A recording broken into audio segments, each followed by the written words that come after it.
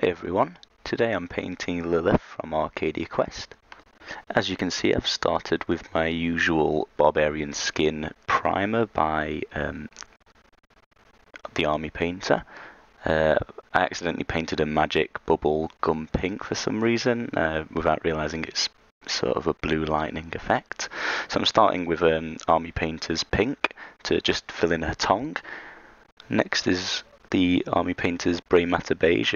All, all my Army Painter sets uh, paints are from the Zombicide set. Um, here I'm using the white to fill in her eyes, and I'll also be doing a dress with this this colour. Um, switching between that was the Army Painter's detail brush for the eyes, and this is the monster brush for a dress. Just trying to fill it in neatly, quickly, and efficiently here taking extra care around her arms as they are the colour I want them already. You can see it's starting to fill in. Um, I don't need to be too careful around the, the magic effect because I painted it the wrong colour. So now I've switched down to the regiment brush just to catch uh, the, the bit holding up a dress. You saw I made a mis little mistake there, so I wet the brush to flood the area to get the white off of her chest. And just touching up any bits I've missed here. This model's particularly easy as it's mostly just a white dress and dark hair. Uh, she's got some sort of white highlighting on her hair as well, so I'll just fill in those few strands. Uh, being quite careful there, although I don't think you need to be because I'm going to fill it over with a darker colour. Next up is the Claymore Blade, which is the Army Painter's lighter silver. And I'm going to be painting her, uh, she's got a sort of arm bracelet, an armlet as you will, um, and an actual bracelet as well. Uh, she's got a necklace that I'll fill in and a bracelet on her right arm, although it's some sort of glovey bracelet on her right arm, so I'll, I'll catch the back of her hand too. Um, I'm going to do her belt effect in, in the silver as well while I'm here, just so I don't have to use as many colours. Next I'm using the Vallejo Electric Blue, which I'm going to use to do her, her irises. It's quite a bright blue, it's the brightest blue I own. And I'm also going to do the base coat of the lightning E blue magic effect in the same colour. Uh, she's also looking at the, the character card, got a few blue gems in her necklace. So I'll be, uh, be using the same blue for that. Again, I'm using the regiment brush here. Um, I would have done it with a monster brush, but it's a bit too close to the dress which I've just painted, so I didn't want to catch catch a dress again, having just done it.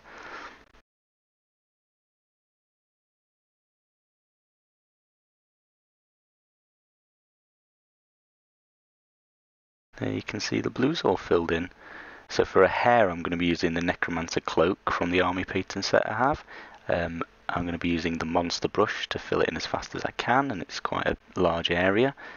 And it's a really dark grey, it's just off black, so that's the colour of the hair in the card. I find using black itself just loses some of the, the detail, so a lot of the time if it looks black I'll use the Necromancer Cloak, and it I think it just makes it look slightly better. It's not quite black, but as you can see that you can see the hair strands still, and I find with black it just sort of disappears.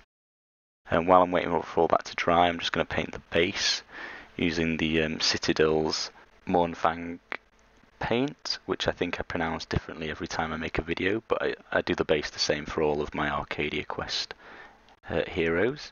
In fact, I've done the, uh, the monsters the same.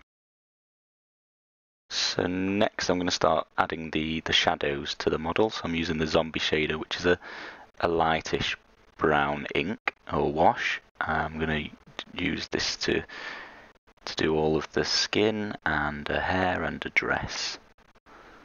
I'm trying to get a lot of the wash in the, the deepest crevices and just catch it on the on the raised parts of her, uh, which I'll highlight up anyway in a minute, but I, I find it just saves on highlighting if you get that right. For the lightning magic effect, I'm going to be using the blue tone ink or shader.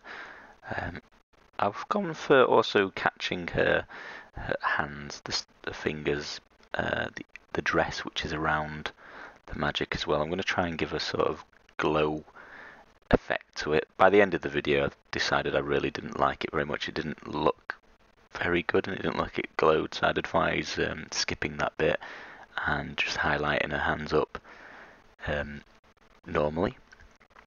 Um, so now I've moved on to the highlighting, so I'm using my Warp Painter's detail brush um, and I'm just going over in this in the um, this Survivor skin is the paint, which is a 99% or 100% match on the Barbarian primer I've used.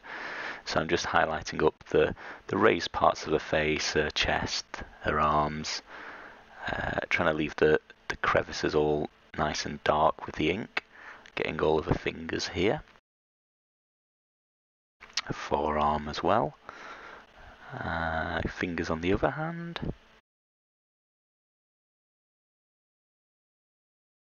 Just off camera slightly.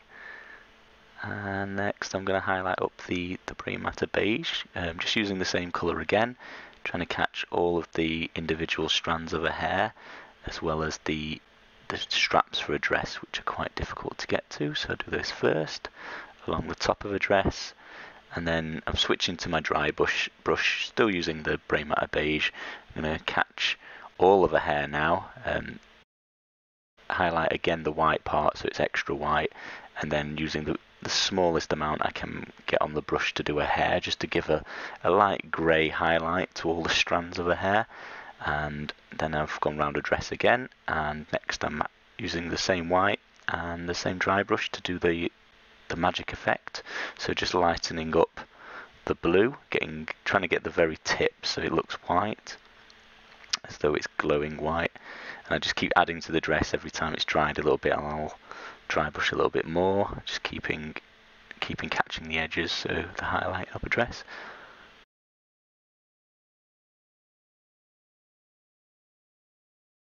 I'm just going back and adding some blue into the to the edges of the crevices so it's sort of white on the very tip dark in the in all the holes and then a light blue again around the edge, just where the dry brush cut a little bit too much for my liking.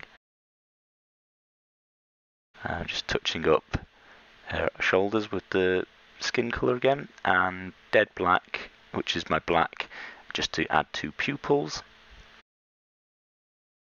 Here I'm switching to the pale flesh just to add the, the top level highlight to the skin. So I'm catching a nose and her cheekbones here it's quite a little bit difficult to see in the light. Sorry, I, I keep playing with the lighting, and to this painting I've done in the day, so apologise for the lighting continually changing, but that's basically the sun going in, in and out. I tried to keep it refocusing and I tried to block the sun with my shadow so it was light but not too bad.